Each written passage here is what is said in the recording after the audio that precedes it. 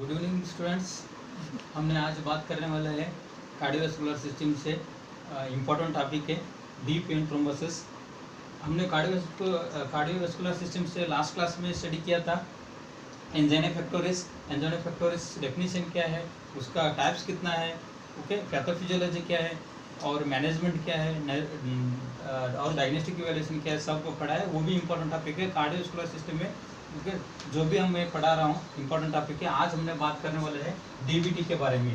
DBT मतलब deep vein thrombosis okay deep vein thrombosis उसका सबसे पहले हम डेफिनेशन देखेगा what is the definition of DBT DBT मतलब it is a clot okay? And thrombus thrombus and clot. It is a clot and thrombus formation in the deep vein of the body.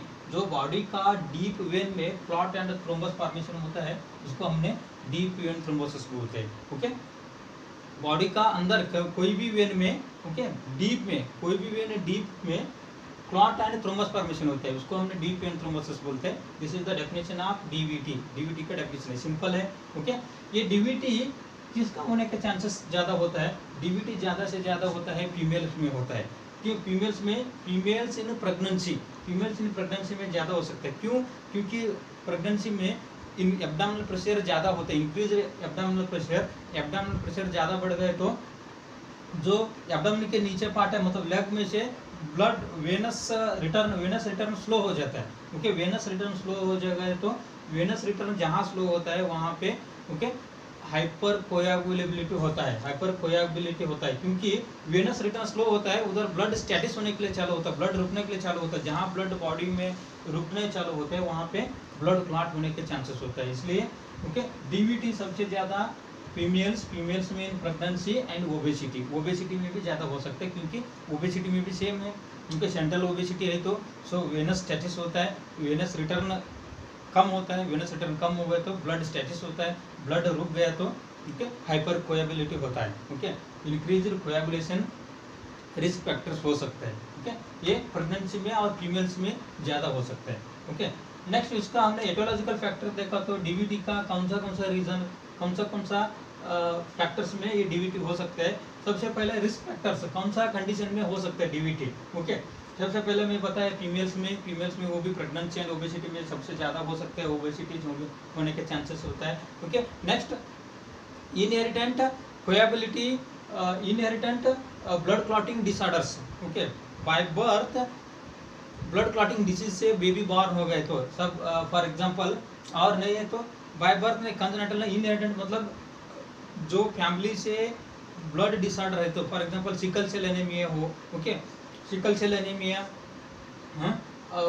ये ऐसा situation में क्या हो सकता है? Inherited clotting factors में ये डिज़ीज़ हो सकते हैं ओके हीमोफीलिया हो सिकल सेल है ओके सिकल सेल हीमोफीलिया वो कंडीशन में भी डीबीटी होने के चांसेस हो सकते हैं okay next certain occupations like doctors nurses drivers okay इसमें क्या हो सकता है?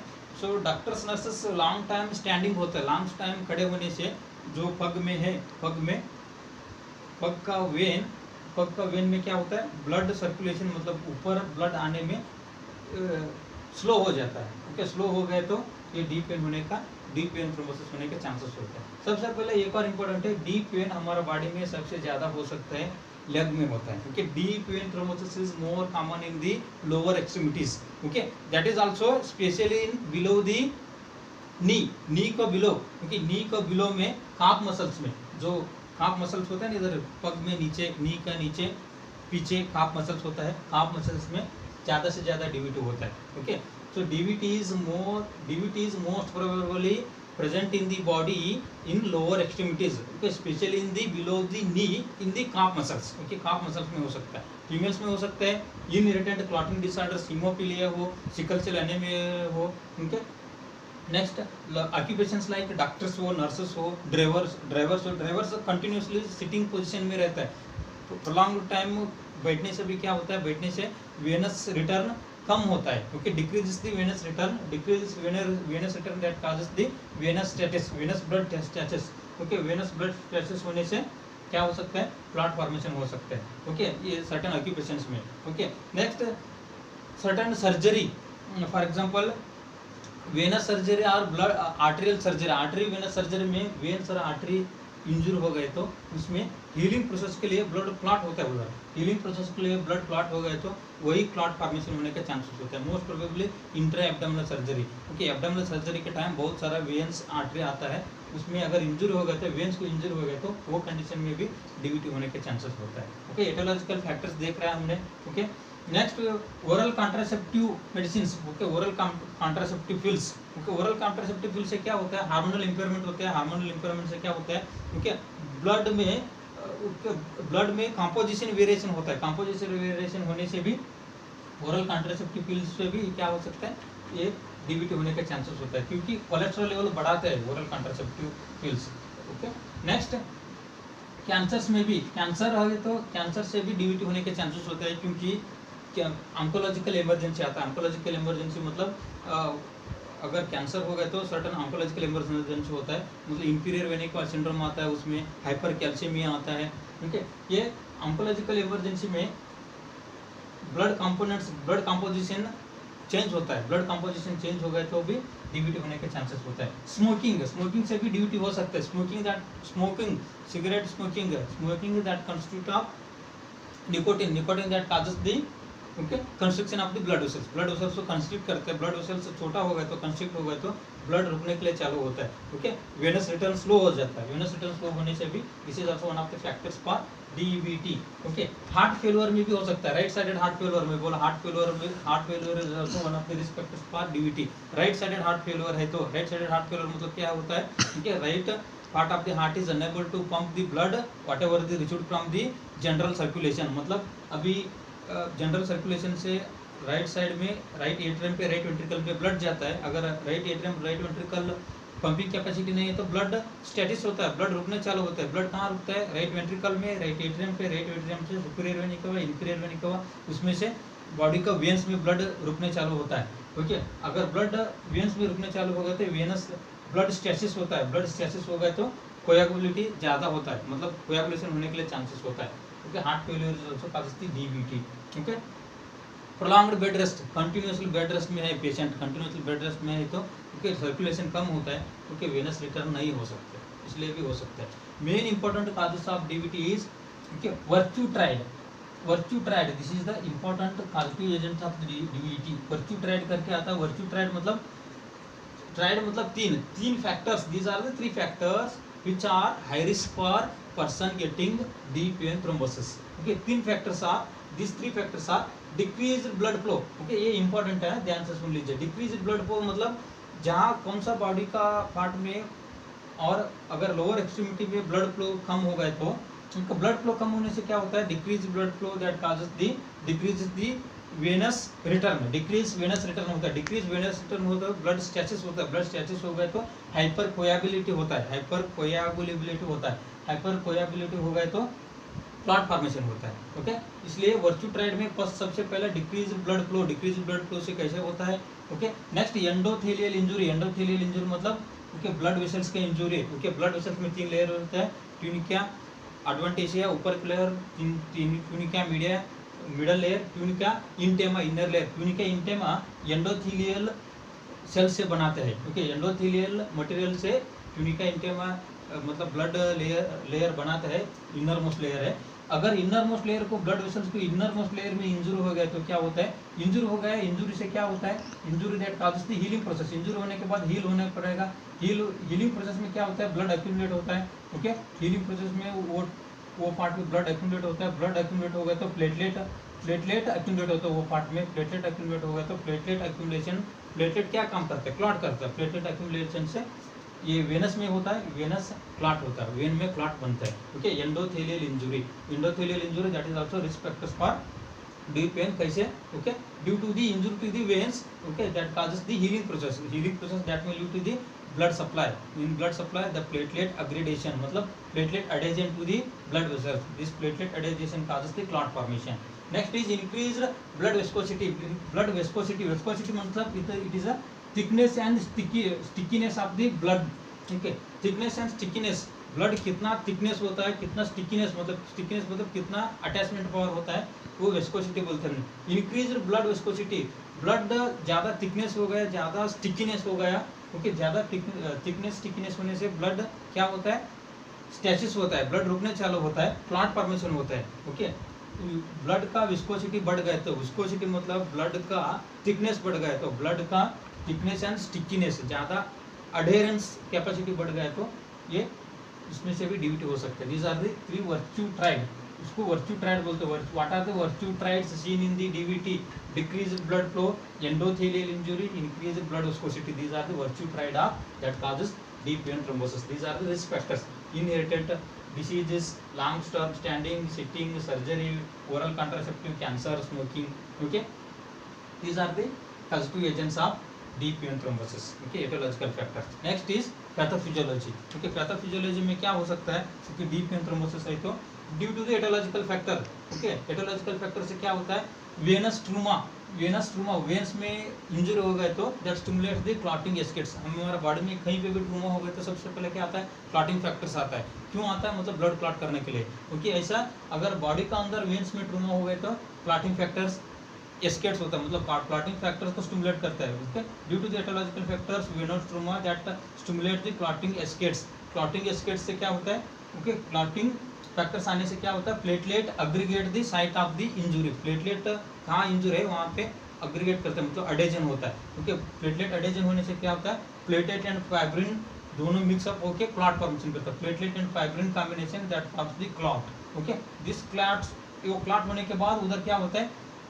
दिस क्लॉट में causes the RBC trapped in plasma meshwork okay जहाँ पे क्लॉट होता है, वहाँ पे आरबीसी भी आरबीसी भी रेड ब्लड सेल्स भी ट्रैप होता है उधर। मतलब रेड ब्लड सेल्स भी उस क्लॉट्स के निकल के आगे नहीं पहुँच सकते रेड ब्लड सेल्स भी उसमें ऐड होता है क्योंकि उसके वजह से क्या होता है डीपी एंट्रोमोसिस हो सकता है ओके ये वर्च्यू ट्राइड में भी पैथोफिजियोलॉजी आपको समझ में आया डिक्रीज इंक्रीज हाइपर कोयाबिलिटी हो गए तो ओके डीबीटी होने के चांसेस होते हैं okay this is the pathophysiology ठीक है? Next clinical manifestation clinical signs क्या हो सकता है?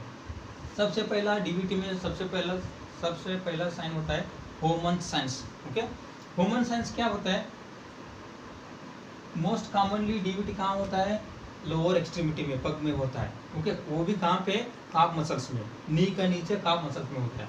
उसमें क्या होता है? पर्सनस को सुलाने का, सुला के ओके okay? वो वो लेग को ऊपर करना है, वो लेग को ऊपर किया तो वो पग सीधा नहीं कर पाएगा पेशेंट क्योंकि पेन होता है उधर। उसको होमोन सेंस पड़ता है। Person is unable to straighten the leg okay person is person feels pain during dorsiflexion of the knee knee को डॉर्सिफ्लेक्शन करने के टाइम मतलब नी को उठाने के टाइम पर्सन को पेन फील होता है। उसको होमन साइंस बोलते हैं okay Homan sign is particularly this is a classical sign of DVT DVT में कौन सा क्लासिकल साइन है? होमन साइन याद रख दीजिए। होमन साइन मतलब person feels pain during dorsiflexion of the knee okay next swelling होता है। क्लॉट फॉर्मेशन हो गया तो वो पार्ट स्वेलिंग होता है। इमोबिलाइजेशन होता है। क्योंकि person is unable to move that part okay pain sensation होता है। Pain is sharp and severe severe and sharp pain होता है। At the site of swelling और at the site of site of DVT DVT के side में बहुत pen होता है। टेंडरनेस भी होता है, कोई भी वो पार्ट में पकड़ लिया तो person feels pain okay okay next redness and discoloration around the site of DVT जहाँ डीवीटी होता है, वो पार्ट में रेडनेस होता है। कलर ब्लैकिश कलर होता है, नहीं तो डिसकलरेशन होता है। ग्रीनिश कलर हो सकता है, नहीं तो दूसरा कोई रेड ब्लैकिश कलर होता है, क्योंकि डिक्रीज रेडनेस डीवीटी है उधर वेनस थ्रोम्बस है ठीक है जहाँ क्लॉट है, वो पार्ट वार्म रहता है मतलब गर्मी रहता है। क्योंकि वो पार्ट में अगर कहीं पे भी इंजर होगा तो वो पार्ट ऑलवेज वार्म रहता है। तो these are the classical sorry physical manifestation of deep vein thrombosis okay next हमने देखेगा डायग्नोस्टिक इवेल्युएशन में। डायग्नोस्टिक इवेल्युएशन में क्या करते हैं? हिस्ट्री कलेक्ट करते हैं फ़िज़िकल एग्जामिनेशन करते हैं। फ़िज़िकल एग्जामिनेशन में क्योंकि ह्यूमन सेंस से मालूम होगा डीबीटी है। ह्यूमन सेंस से द पेशेंट कन्फर्मेटिव कन्फर्मली बोल सकते हैं हमने डीबीटी है। ठीक है इसके अलावा भी history physical examination routine blood investigation करता है। डेफिनेटिव डायग्नोस्टिक इवेल्युएशन इधर ये है।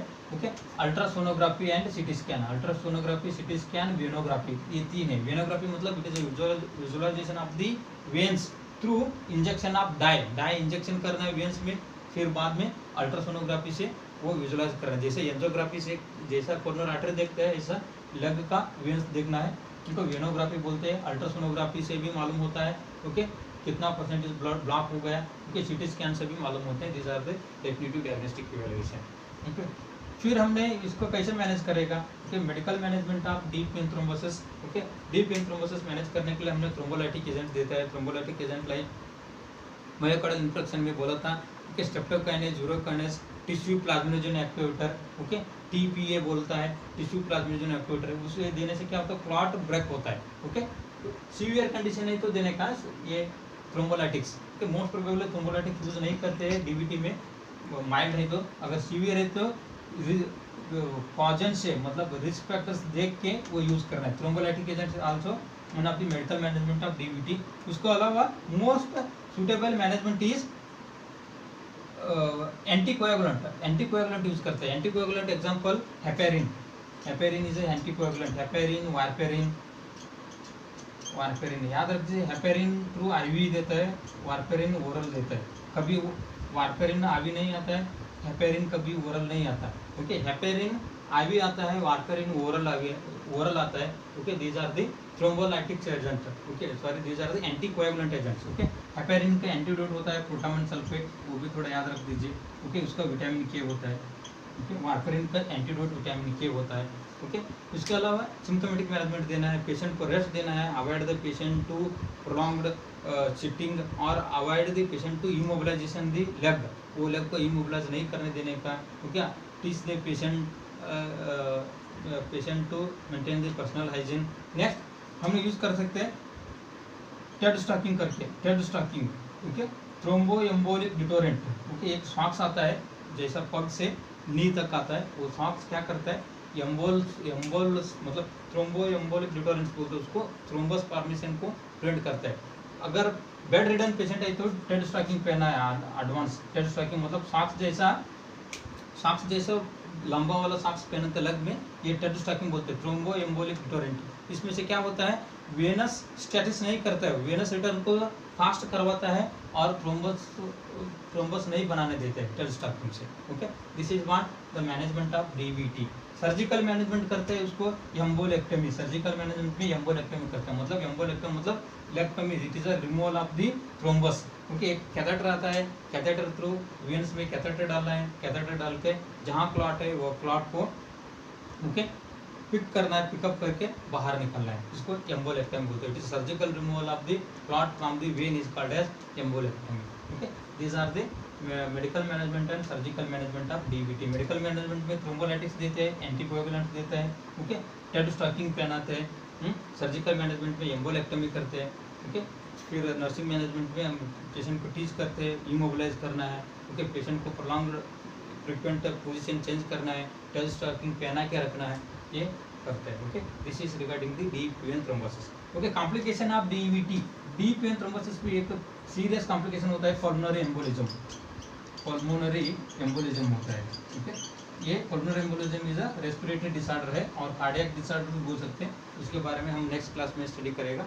Pulmonary embolism it is one of the the most common complication of DBT is pulmonary embolism okay this causes the life threatening condition suddenly patient death हो सकता है, क्योंकि वही क्लॉट मूव होकर heart में चला गया तो हार्ट में से right atrium right ventricle pulmonary artery में पल्मोनरी आर्टरी से लंग्स में चला गया तो ओके ये पल्मोनरी एम्बोलिज्म बोल सकते हैं। उसके बारे में हम नेक्स्ट क्लास में स्टडी करेगा। इसमें ये definition aetiological factors pathophysiology class sign and symptoms diagnostic evaluation management अच्छे तरह से पढ़ लीजिए। इंपॉर्टेंट है। Thank you very much